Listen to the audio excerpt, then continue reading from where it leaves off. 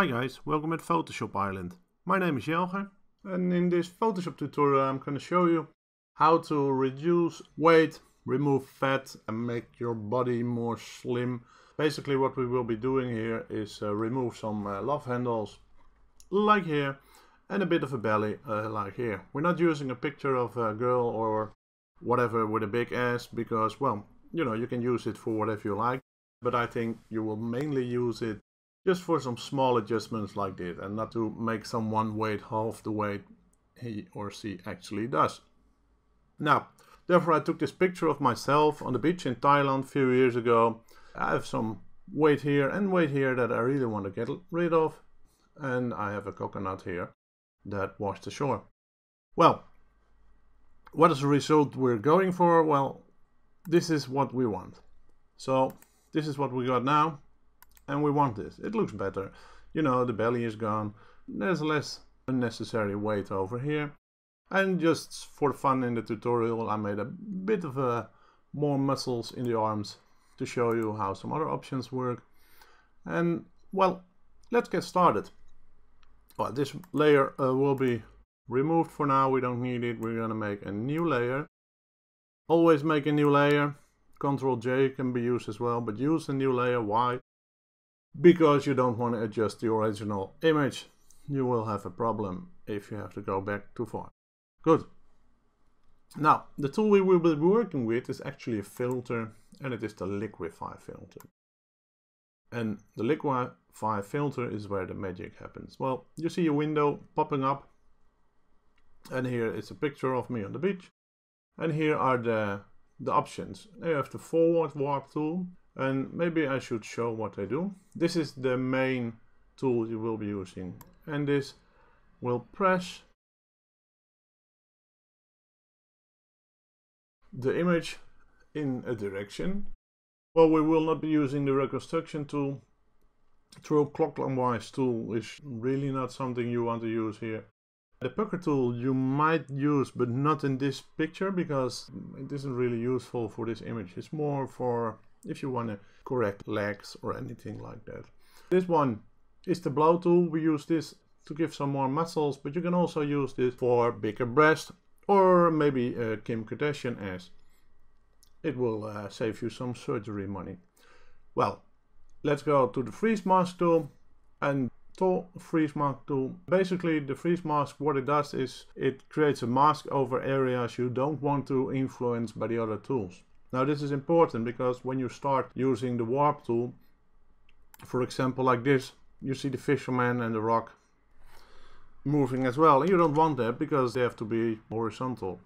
So therefore you will apply a mask over it and you won't have that problem. Now here we have the tool options. The brush size, of course, make sure that the brush size you're using is actually the size that suits the, the size you're using it for. So if you're using a too small of a brush, for example, well, let's uh, just uh, go somewhere. When you use it, you see you will create some areas you don't want. It has to be more like an overall adjustment. So, the density, you know, you can compare it with the normal brushes, hardness, softness, density lower is a soft brush, density higher is a hard brush. And the brush pressure, that basically influence the pressure of the brush, so to say. And you can have it a bit more in the direction of 100 if you want, but you have to experiment with it. It can be different for each image. Brush density, I mainly have it on somewhere around 50. These are the mask options, you won't be using them. This is to show the image, this is to show the mask, and the show the backdrop is when you make your adjustments and you click on this option, you will see the original image in the background, so to say. Now let's start by the adjustments. Of course we want to apply a mask first. Let's zoom in, Control plus. Here we have it. Now for this we want a brush density of 100% because we do not want any soft edges around the brush. So I will be making a bit of a brush here And I've could have used a smaller size, but well, uh, who cares. Maybe make it a bit smaller here. And you know the square brackets open and close will make your brush size bigger or smaller. So, great. Now, let's zoom out a bit. Good. We want to adjust the belly first. So we're going to the forward warp tool. We go for a size we think suits the body size. And I would say uh, the body pressure of the breast pressure 100. And maybe in this is a bit too big. 250 might be right. Now, you've got to see it this way. The cross is where the pressure is and the circle is what it influences. So there you see on the top of the circle you see an edge and until that spot is actually what you're moving. So keep that in mind. And also try to use to, to press only.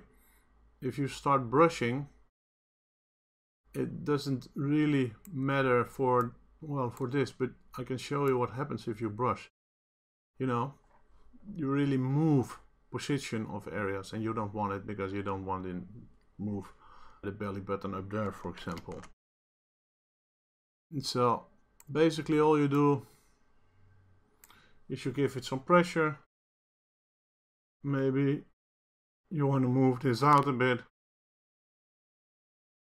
and well, there we have it. The belly is adjusted. Now let's adjust this part as well. Now as you see, we do influence everything around there except for the fisherman. Okay, make it a bit smaller. And now we have to pull the pens down a bit because if you have it too much up there it still looks as if it's uh, being held on, on its place by a belly and you want it more straight. So, and this has to go up a bit.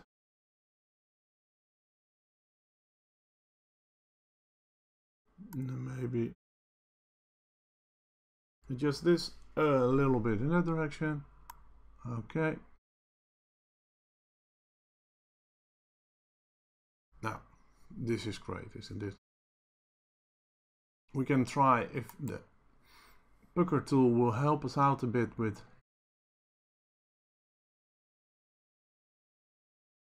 making this disappear.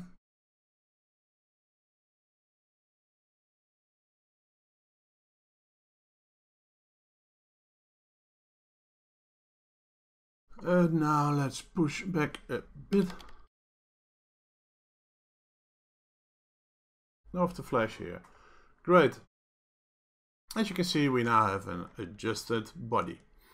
And the fisherman isn't adjusted. Only you see a small blue spot over there. And we don't want that. We will adjust that later on. For now, it's okay. Of course, what we can do is give it a bit of a brush over here or uh, the the mask. And then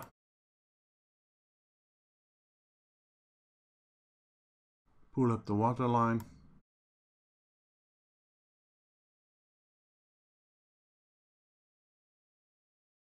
but basically I think it's better to just adjust it later on by using the patch or the brush healing tool. Whatever, let's remove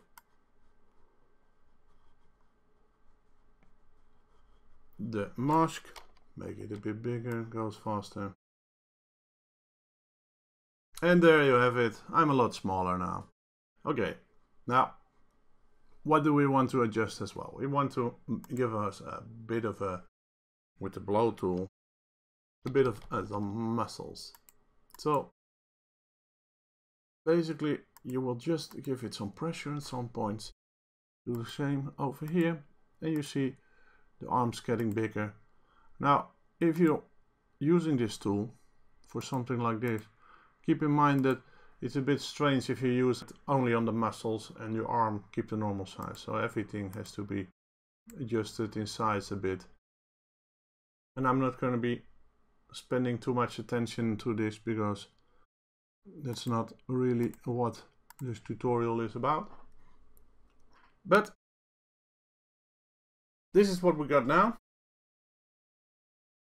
And is it what what before?